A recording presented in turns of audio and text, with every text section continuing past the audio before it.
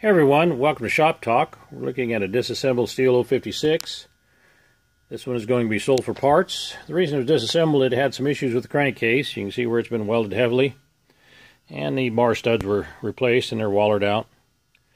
But it's got a very good Bosch ignition. I did test run this saw and tested the ignition before disassembling it. It's in great shape if you want to purchase a match set ignition for this saw.